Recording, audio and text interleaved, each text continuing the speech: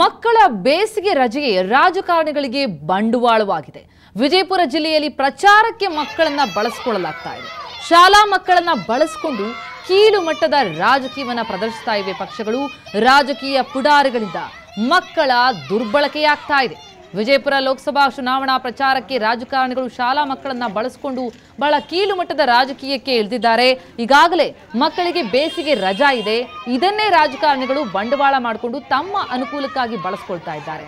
ಮಕ್ಕಳನ್ನ ಒತ್ತಾಯಪೂರ್ವಕವಾಗಿ ಪ್ರಚಾರಕ್ಕೆ ಕರೆದೊಯ್ತಾ ಇರೋದಕ್ಕೆ ಸಾರ್ವಜನಿಕರು ಆಕ್ರೋಶ ಕೂಡ ವ್ಯಕ್ತಪಡಿಸಿದ್ದಾರೆ. ಈ ಕುರಿತಿನಷ್ಟು ವಿಚಾರಗಳನ್ನ ತಿಳಿಸ್ಲಿಕ್ಕೆ ಷಡಕ್ಷರ ನಮ್ಮ ಜೊತೆ ಈಗ ನೇರ ಸಂಪರ್ಕದಲ್ಲಿದ್ದಾರೆ. ಷಡಕ್ಷರಿ ಪ್ರಮುಖವಾಗಿ ಮಕ್ಕಳನ್ನ ಬಳಸ್ಕೊಳ್ಳಲಾಗ್ತಾ ಇದೆ ಅಂತ ಅನ್ನೋದು ಆಯೋಗಕ್ಕೂ ಕೂಡ ಗಮನಕ್ಕೆ ಬಂದಿಲ್ವಾ? ಯಾವಾಗಿನಿಂದ ಇದು ಆರಂಭ ಆಗಿರುವಂಥದ್ದು? ಚುನಾವಣಾ ಆಯೋಗಕ್ಕಾಗ್ಲಿ ಯಾರ ಗಮನಕ್ಕೂ ಇದು ಬರಲಿಲ್ವಾ ಅಂತ? ಪ್ರತಿಭಾ, ವಿಜಯಪುರದಲ್ಲಿ ಲೋಕಸಭಾ ರಣಾಂಗಣ ಈಗ ರಂಗೇರಿದೆ. ಆದ್ರೆ ಮತ್ತೊಂದು ಕಡೆಗೆ ದುರಂತದ ವಿಚಾರ ಏನಂತ ಹೇಳಿದ್ರೆ, ಎಲ್ಲ ರಾಜಕೀಯ ಪಕ್ಷಗಳು ಈಗ ಸದ್ಯ ಮಕ್ಕಳನ್ನ ಇಲ್ಲಿ ದುರ್ಬಳಕೆ ಮಾಡ್ಕೊಳ್ತಾರೆ. ಮಕ್ಕಳ ಮೂಲಕ ತಮ್ಮ ಪಕ್ಷದ ಅಭ್ಯರ್ಥಿಗಳ ಪರವಾಗಿ ಪ್ರಚಾರವನ್ನ ನಡೆಸೋದ್ರ ಮೂಲಕ ಮಕ್ಕಳ ದುರ್ಬಳಕೆಯನ್ನ ನೇರವಾಗಿ ಇಲ್ಲಿ ಓಪನ್ ಆಗಿನೇ ಮಾಡ್ಕೊಳ್ತಾ ಇರುವಂತದ್ದು ಮತ್ತೊಂದು ಕಡೆಗೆ ಏನಂತ ಹೇಳಿದ್ರೆ ಈಗ ಮಕ್ಕಳಿಗೆಲ್ಲ ಬೇಸಿಗೆ ರಜೆ ಇದೆ. ಇದನ್ನೇ ಬಂಡವಾಳ ಮಾಡ್ ಮಾಡ್ಕೊಂಡಿರ್ತಕ್ಕಂತ ಇಲ್ಲಿ ಏನ್ ರಾಜಕಾರಣಿಗಳಿದೆ ರಾಜಕೀಯ ಪುಡಾರಿಗಳೇನಿದ್ದಾರೆ ಆ ಮಕ್ಕಳು ಎಲ್ಲರನ್ನು ಕೂಡ ಓಪನ್ ಆಗಿನೇ, ಆ ಮಕ್ಕಳಿಗೆ ಒಂದು ಶಾಲ್ ಹೊದಿಸ್ತಾರೆ, ಮತ್ತೆ ಅವ್ರದ್ದು ಟೋಪಿ ಹಾಕ್ತಾರೆ.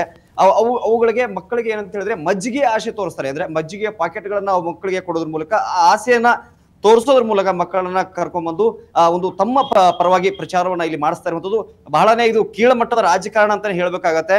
ಮತ್ತೊಂದು ಕಡೆಗೆ ಏನಂತ ಹೇಳಿದ್ರೆ, ಇದೆಲ್ಲದರ ಮೇಲೆ, ಇದೆಲ್ಲ ಏನು ಒಂದು ರಾಜಕೀಯ ಪುಡಾರಿಗಳು ಏನ್ ಮಾಡ್ತಾ ಇದ್ದಾರೆ ಇದ್ರ ಮೇಲೆ ಮಕ್ಕಳ ರಕ್ಷಣಾ ಘಟಕ ಒಂದು ಕಣ್ಣನ್ನ ಇಡಬೇಕಾಗತ್ತೆ. ಆದ್ರೆ ಆ ಕಾರ್ಯ ಇಲ್ಲಿ ವಿಜಯಪುರದಲ್ಲಿ ಆಗ್ತಾ ಇಲ್ಲ. ಡೇ ಒನ್ ಇಂದಾನು ಕೂಡ ಇಲ್ಲಿ ಮಕ್ಕಳನ್ನ ಹೀಗೆ ಬಳಸ್ಕೊಂಡು ದುರ್ಬಳಕೆ ಮಾಡಿಕೊಂಡು ಪ್ರಚಾರವನ್ನ. ನಗರದ ಓಣಿ ಓಣಿಯಲ್ಲಿ ಕೂಡ ಮಾಡ್ಕೊಳ್ತಾ ಇದ್ರು ಯಾವ ಅಧಿಕಾರಿಗಳು ಕೂಡ ಎತ್ತ ಲಕ್ಷ್ಯ ವಹಿಸ್ತಾ ಇಲ್ಲ ಇನ್ನಾದ್ರೂ ಕೂಡ ಮಕ್ಕಳ ರಕ್ಷಣಾ ಘಟಕದವರು ಇದನ್ನ. ಈ ಕಡೆಗೆ ಗಮನ ಹರಿಸಿ ಕ್ರಮ ಕೈಗೊಳ್ಳಬೇಕಾಗಿದೆ ಮಾಹಿತಿಗೆ